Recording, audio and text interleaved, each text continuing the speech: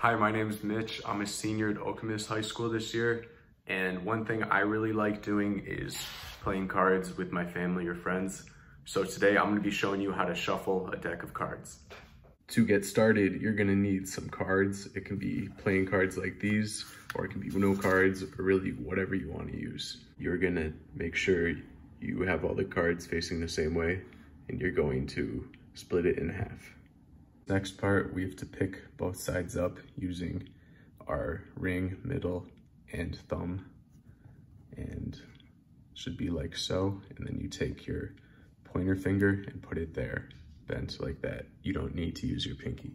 So once you have the card picked up like this, then you can take the other side of the cards and pick them up with your other hand.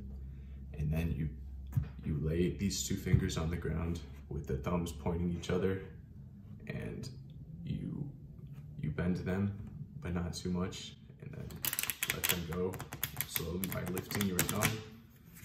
And then you can add that to the end if you would like. Okay, so now here's from the side in slow motion.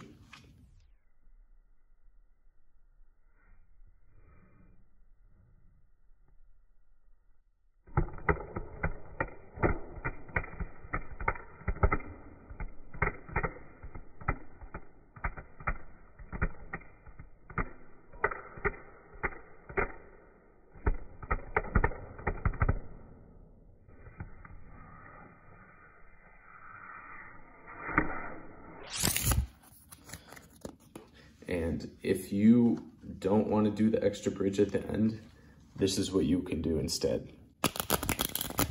Once you have here, you can just push them together like so, and they're shuffled. Just to review, you have the deck, you take it in two, you pick it up like this, you bend, shuffle. That's it. Now that you know how to shuffle, there's lots of games you can play with cards. And it's not just these kind of cards, many games use cards.